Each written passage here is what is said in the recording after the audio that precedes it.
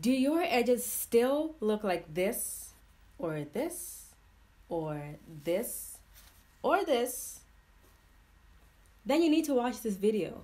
Hey loves, it's Angelica aka Angie Bee and welcome back to my channel. If you are not new, my name is Angelica and I post hair videos every single week. Please consider hitting the subscribe button. It is linked right down there as well as the bell icon which just makes sure you get notifications every single time I post. So without further ado, let's get into this video. In this video, I am going to be telling you guys six ways that you guys can grow your edges back fast. Six more ways. So if you came from my other video, then you know this is not the same video. If you haven't seen the original 6 ways to grow your edges back fast, I will link it at the end of this video and also in the description box so you can go and check that out for 6 more tips at the end of this video. But let's get straight into it. The first way to grow your edges back fast is to deep condition your hair every single week, once a week. You don't want to go over that unless you know your hair for sure and you really need to deep condition it like twice a week, which is the maximum.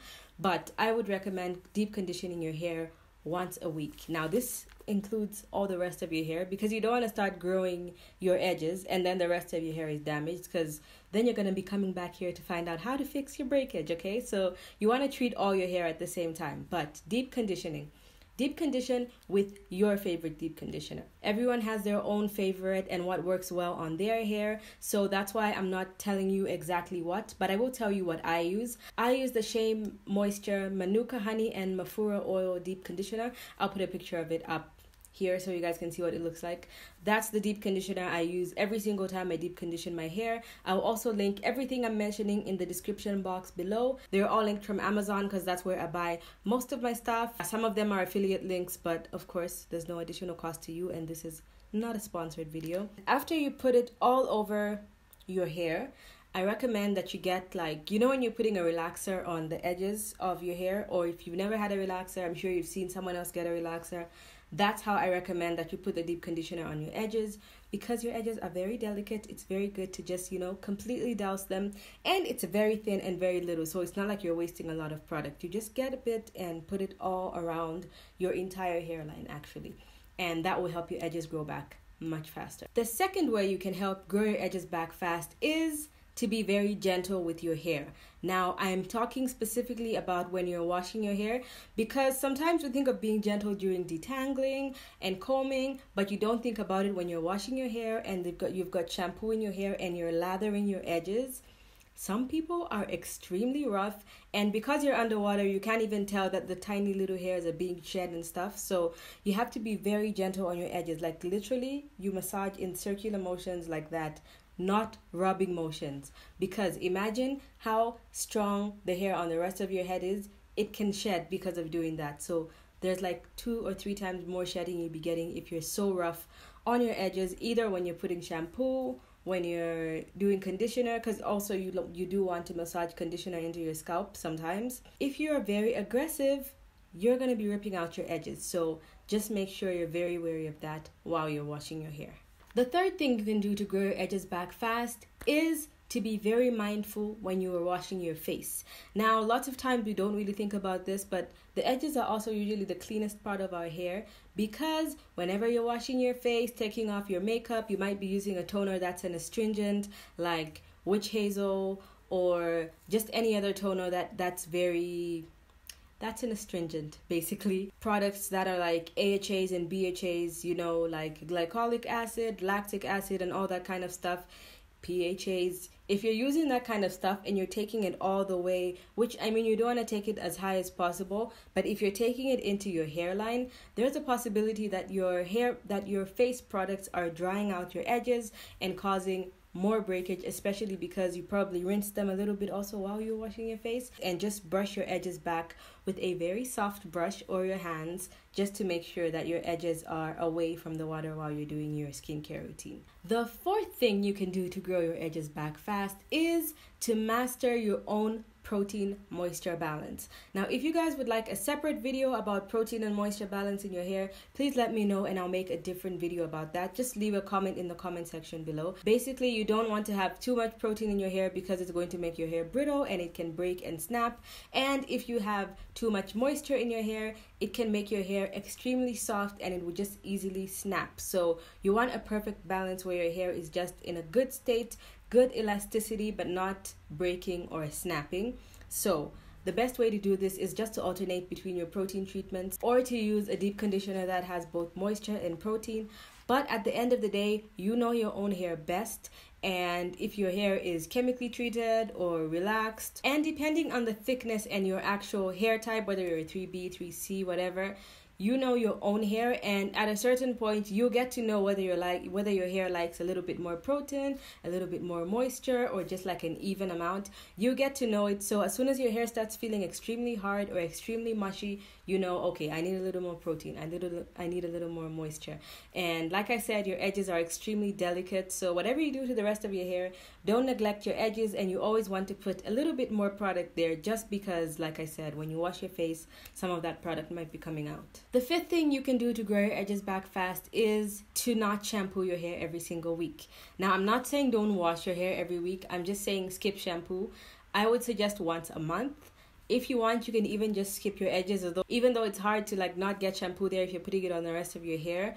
But i would suggest at least twice a month so, which means every two weeks you use shampoo, and then every other time you wash your hair, you just use a cleansing conditioner or a regular conditioner. So, basically, just co wash your hair. If you can't co wash all your hair and your hair has like lots of product buildup and all that kind of stuff, just try and do it with your edges because believe me, any product is easy to come off your edges because your edges are always a slightly different texture than the rest of your hair they are finer and it's very little hair. So if you just co-wash your edges and use shampoo on the rest of your hair if you have to then you can go ahead and do that. But just try and stay away from that because like i said your edges are usually pretty clean. You don't have to clarify them and do all that so much. The sixth thing you can do to grow your edges back fast is to not use hair ties that snag on your edges. And the reason I know I said something similar in my other video, but this is actually different. I mean, you know the hair bands you use to do like a high puff where you just maybe it's like a piece of wool or like a thread that's made out of like cotton or something. You know when you just do that little puff where you just put it here and you just push your hair up. Those really snag at your edges because it's like your your hair sort of rolls in it and then when you take it off, I'm sure you can even feel like little hairs snapping and also if it's made out of cotton or any other fabric that absorbs moisture it's also making just that particular area extremely dry. So if you're going to do one of those hairstyles where you just push up your hair just by your edges for example if i did this same head wrap i'm doing right now and it's extremely tight here right on the edges of my edges it would cause breakage and it would suck out the moisture. So let me show you a tip that I always do. I hope I can get it out from here. But every time I put my hair in a head wrap, I do have a satin bonnet on the inside. I think you guys can see that. So all the rest of my hair is protected and when I haven't laid my edges like this, then you know the bonnet is further down and my head wrap is closer to, to my forehead.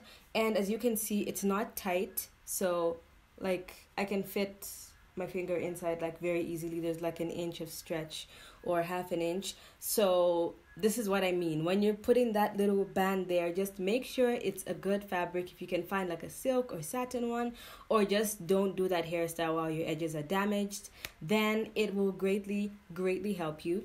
Now on to the bonus because you guys know i always have a bonus. And the bonus is shave your edges off like bald I'm just kidding, obviously.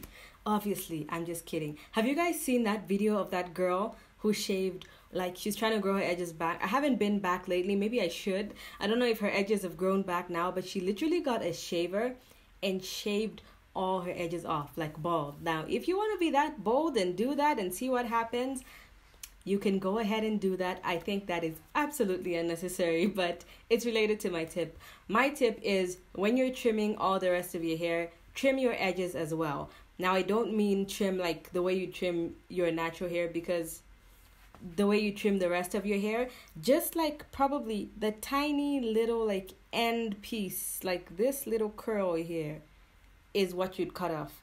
But I'm not saying cut it off if there's no split ends. If you don't have split ends, there's nothing to cut off. You can do like a search and destroy kind of method and see if there's like any split ends or like crinkly damaged ends. Those are the pieces you're going to cut off and it will help your hair stop breaking because maybe your edges could be growing but then after they grow the ends continue to break off and snap off because your ends are so unhealthy so just make sure to take a look at that most people actually don't have that many split ends on their edges. But if you're experiencing extreme damage to your edges that is something you might want to check out. And also if you want to see how I laid my edges for this video I did make a separate video about that. It'll be linked on the screen in the eye also in the description box below so make sure you check that out. So if you didn't hit the subscribe button in the beginning you can just click my face right there. That will let you subscribe to this channel. Also remember to hit the bell so you get notifications every single time I post.